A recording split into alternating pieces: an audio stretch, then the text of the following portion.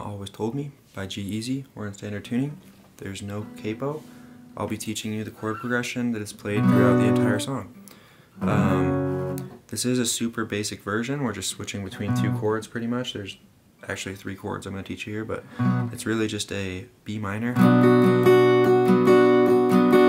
and an F sharp minor.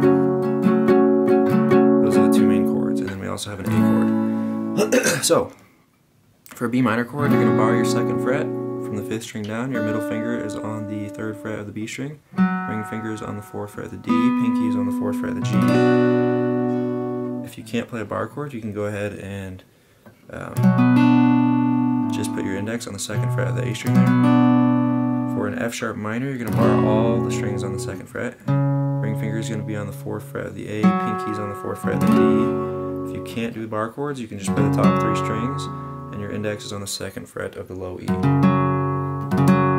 And that's it. So those are the two chords.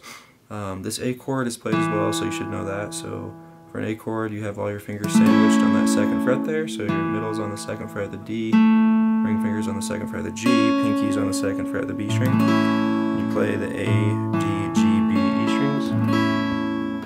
And those are the three chords we're going to be working with. So we're going to start out in our B minor here.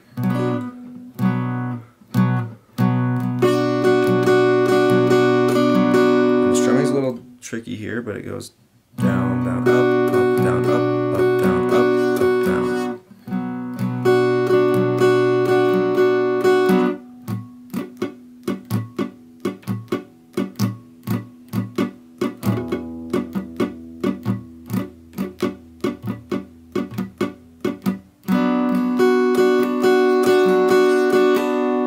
You do that once, then you switch to your F minor, your F sharp minor.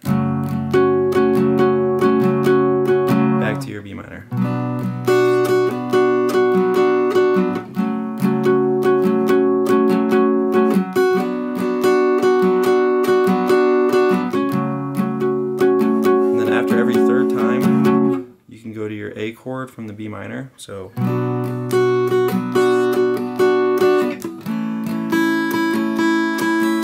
your F sharp, back to your B minor.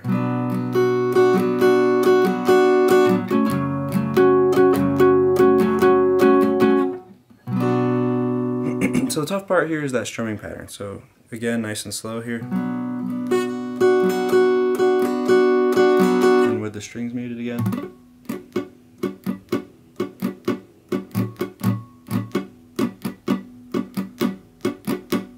But other than that, you're really just switching between this B minor and your F sharp minor. And that's it. So that's going to be it for this tutorial. I went through that pretty quickly, so if you have questions, go ahead and comment below. If you'd like to see more tutorials, please subscribe to my channel. Thank you for watching.